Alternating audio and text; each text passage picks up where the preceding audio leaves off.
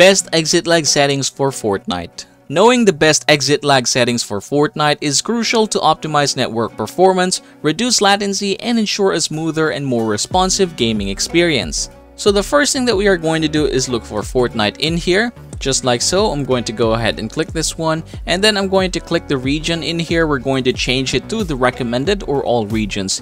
Now, if you're done doing so, you're going to go ahead and click advanced routes, set this to 2 and then click apply.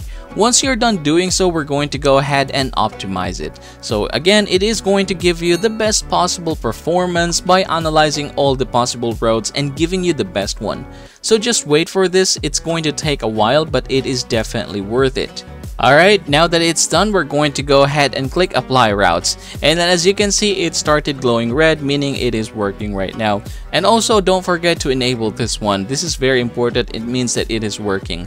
Congratulations everybody, that is the best Exitlag settings for Fortnite. And if you are interested in using Exitlag, go ahead and click the link in the description box or the comment section for you to start with your 3 days of free trial.